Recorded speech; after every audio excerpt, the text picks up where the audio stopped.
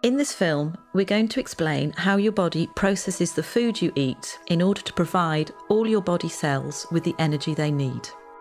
And also what happens when you have diabetes and this system doesn't work properly.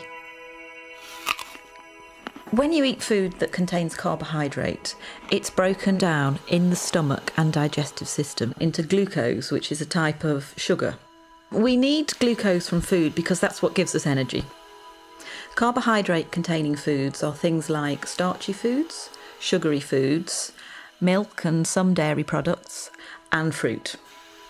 This glucose then moves into the bloodstream and the body detects that the blood glucose level is rising.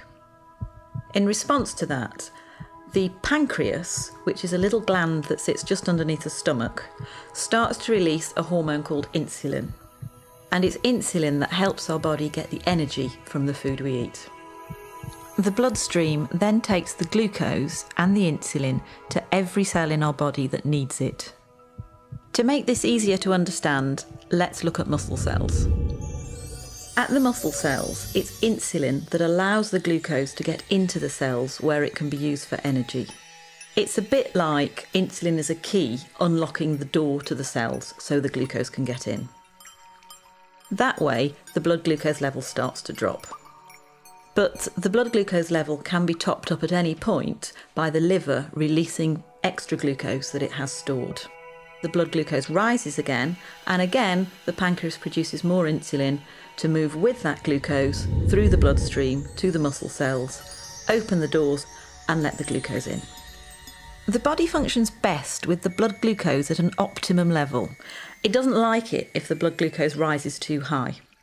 Normally, there's a cycle within the body which balances out the glucose and the insulin level, and this is achieved by the food you eat, the pancreas, and the liver.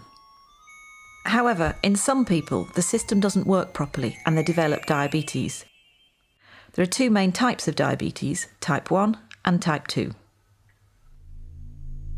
In type 1 diabetes, the body isn't making any insulin at all. This is because of an autoimmune response whereby the body has destroyed the insulin producing cells in the pancreas.